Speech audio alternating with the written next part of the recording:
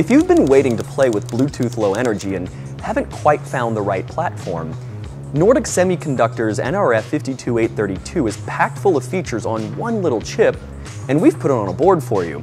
Additionally, we've managed to squeeze in the Arduino bootloader so you can actually program this with the Arduino IDE.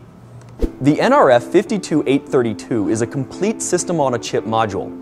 It has a 32-bit ARM Cortex-M4F running at 64 MHz with 512 kilobytes of flash memory and 64 kilobytes of RAM.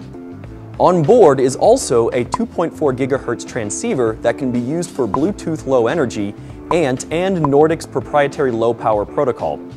Additionally, it has support for NFC A tag.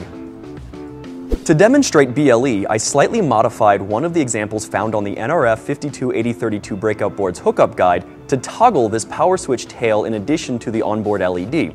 I then use Intel's XDK to make a quick smartphone app that displays an on and off button.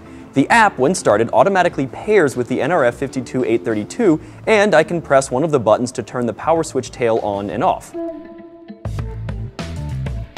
That means I can be lazier than ever and control my home appliances through my cell phone. And knowing that I'm using Bluetooth low energy, it means I'm using less power than something like Wi-Fi.